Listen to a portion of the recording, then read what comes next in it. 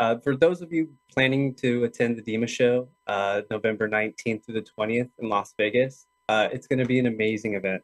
Uh, we got some really, really exciting things we're rolling out for the attendees. Uh, but first of all, we're participating in DEMA's Undersea Grand Prix, which is a fun and interactive activity where attendees complete a map by visiting marked exhibitor booths uh, for a chance to win some really, really cool prizes. Yes. Um, so, so, so come see, see us. We're going to be at booth 8075. Uh, we'll validate your map and uh, we'd love to see you. Secondly, uh, all of our riders are going to be at DEMA's Resource Center on the uh, show floor from Tuesday from 4 to 4:45. They're going to be discussing our top stories from uh, 2024, similar to what we're doing right now here on the Level Up podcast. So we're really hoping that you join in there with us. But uh, lastly, if you're an exhibitor, DEMA's only 110 days away, uh, and we we have some pretty great pre-DEMA uh, advertising as well as marketing opportunities available to help announce uh, your show specials and get the hype going to drive foot traffic to your booth.